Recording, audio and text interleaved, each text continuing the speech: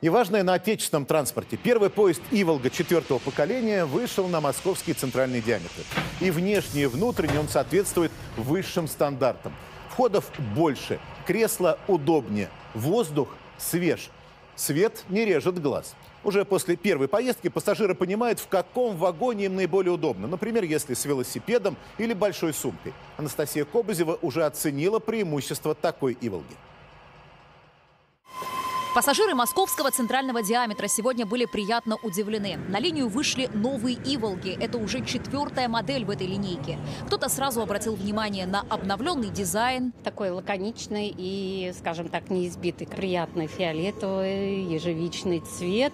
Очень удобные сиденья. Подлокотники можно регулировать. Другие отметили быстрый, плавный и бесшумный ход поезда. Очень тихий, эргономичный, э, все видно, очень классно. Пассажиропоток на МЦД постоянно растет. Инженеры учли и этот момент. В поезде стало больше дверей по три в промежуточных вагонах. А это значит, что выходить или наоборот заходить пассажиры будут быстрее, без очередей. Это особенно актуально в час пик. И такие «Иволги» постепенно полностью заменят старые московские электрички. Только до конца этого года поставят больше 50 современных поездов. Об этом сегодня рассказал мэр Москвы. Сергей Собянин вместе с главой РЖД Олегом Белозеровым запустили на линии МЦД-4 новый состав. Мы специально создавали новый поезд «Иволгу» для центральных диаметров.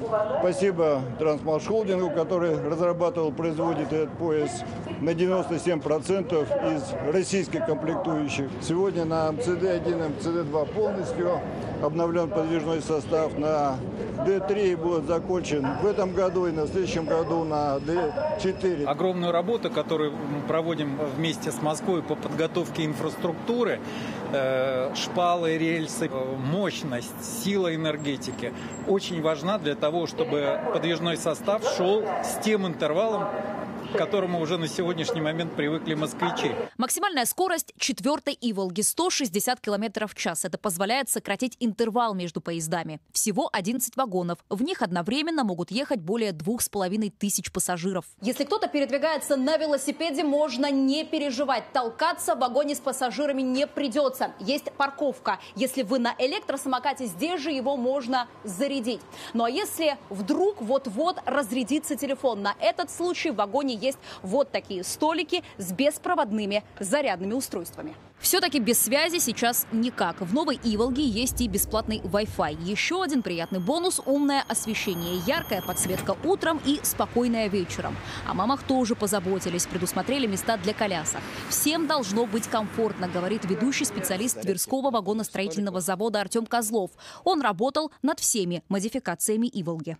Отец живет в Подмосковье и постоянно путешествует именно на Иволге и каждый раз отправляет мне либо какое-то видео, либо какое-то фото. В общем, ему очень нравится.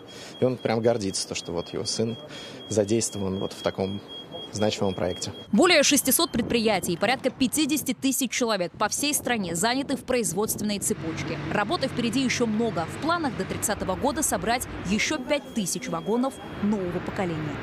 Анастасия Кобызева, Андрей Мелехов, Михаил Васильев, Анастасия Слободенюк, Сергей Шатила. Первый канал.